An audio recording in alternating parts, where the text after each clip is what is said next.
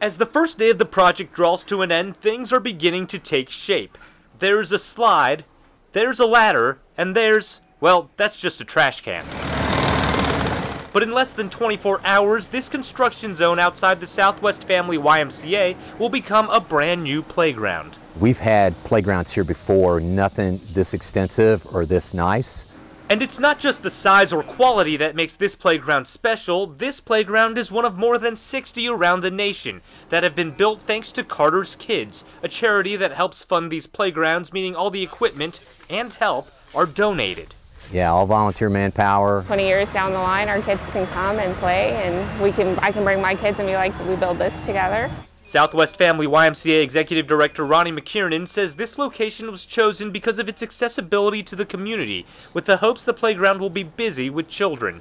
But these playgrounds hope to promote more than just a good time.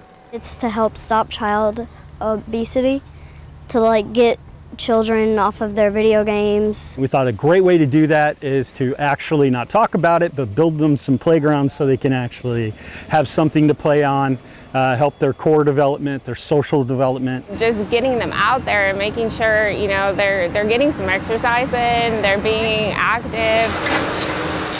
It's this reason why volunteers like 11-year-old Kaysen Williams are out, hoping to make a difference, and in Kaysen's case, hoping to tell his friends who will use this playground he had a hand in making it. They would be like, that's not true. and I'd be like, it is. It's one afternoon of their time they're giving back to their community. It's just nice to know that you had a little bit to do with that. Hoping the few hours Sunday make lifetimes of change.